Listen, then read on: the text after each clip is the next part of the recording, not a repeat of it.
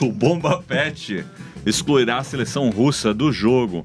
Eu tô vendo uma. é, isso acontecendo também. Teve um piloto de Fórmula 1 que falou que não vai correr também lá. E vai, vai acontecer isso agora, né? Um boicote meio que global às atividades internacionais que, que são realizadas lá, né? Na, na, na, na Rússia. Então, isso também, jogos que eram pra ser lá. Putz, vai ser. com- Isso não é bom pra ninguém, cara. É, vou fazer um Ah. comentário que não tem a ver diretamente com o que está acontecendo hoje, porém tem a ver com essa coisa de boicote. É, para vocês que não sabem, ah, o Spotify comprou um podcast muito famoso americano que é do John Prosser. Pagou 100 milhões de dólares para ele ser do Spotify. Sim. Só que o John Prosser continua apresentando. E o John, o, e o E, John e Prosser. é alvo de muitas polêmicas, É, né? porque o John Prosser, o que acontece? fala Ele tem, coisa estranha ele lá. tem opiniões que são bem divergentes. Ele é. Ele diz que não é negacionista, que ele é. Que ele é. Ele, ele vê o outro lado das coisas. Ele fala isso. Mas ele, ele critica a vacinação, ele tem umas, uns, uns posicionamentos um pouco divergentes, entendeu? E ele andou praticando recentemente desinformação Sim. no podcast dele.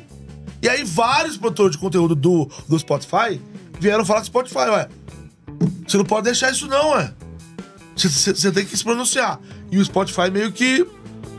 Por quê? Porque o Spotify pagou 100 milhões pra, pra ele estar ali. Tipo assim, seria uma... E aí, meio que vai, não vai, vai, não vai. O Spotify se pronunciou falando que eles são uma plataforma aberta e que aceita todo tipo de, de opinião. Aí o que que tá acontecendo agora? O Neil Young acho que foi o primeiro, mas alguns é, músicos estão falando, ou vocês corrigem esse negócio, não é tirar o cara do ar, mas não permitam que isso o- ocorra, Aham. ou a gente não vai ter a nossa música mais é, divulgada, né, distribuída pelo seu streaming. E o Spotify meio que deu de, deu de ombro e vários artistas estão saindo. É, paciência, né? Não faz nada, é isso que acontece. Aí agora, sabe o que que eu vi que, tá, que também que tá acontecendo? Achei sensacional. Eu gosto dessas coisas, quando rola Gosta esses de treta. boicotes. Não, alguns outros podcasts do Spotify, porque eles são do Spotify exclusivo, eles não são do, do- não pertencem ao Spotify. Esse pertence, mas os outros não, são só exclusivos. Por exemplo, tem um que é ah, tipo estão um... falando aí que você, você falou o nome errado do cara, é Joe Rogan. Ih, John Prosser. Não, desculpa. Joe Prosser é líquido da Apple. Que a gente fala dele toda hora aqui. Desculpa, Joe Rogan. Desculpa, galera. É isso aí. É líquido da Apple. Desculpa, todo mundo é o- entendeu, é o né? Joe Todo mundo Rogan. entendeu, É Joe é. Rogan. É, Joe Rogan. A gente tá ficando velho, desculpa. Eu tô, eu tô bem velho mesmo, a barba brancaça. Aí. Não tá tão velho quanto o outro ali, mas. Não, o outro ali é 80, mas é. Olha a cara dele. Agora, o, gostei do corte, foi preciso.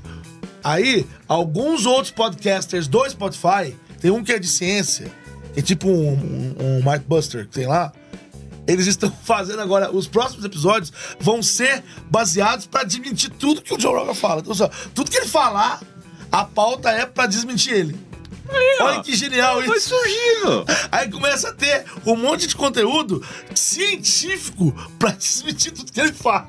Vamos falar de polêmica, então, ó. Polêmica. Felipe Gonçalves falou: ele fala o que pensa, eu sou assim, não vivemos em um país democrático?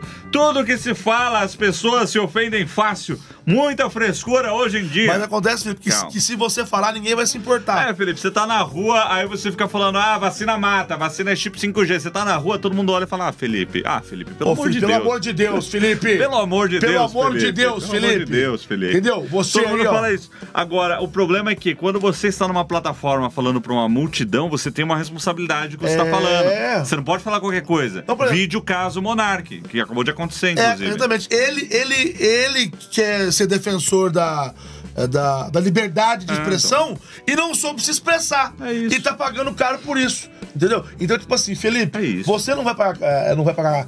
Não vai pagar caro por isso porque você não gera grandes estragos. Porque a sua voz, não tô falando mal, não, mas a sua voz, ela não é propagada para todos os cantos. Mas o Joe Rogan, o Monark e outras pessoas, sim.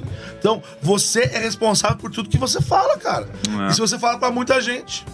É isso. O Tech Nerd falou que o Felipe não tem 5G, por isso que ele tá triste.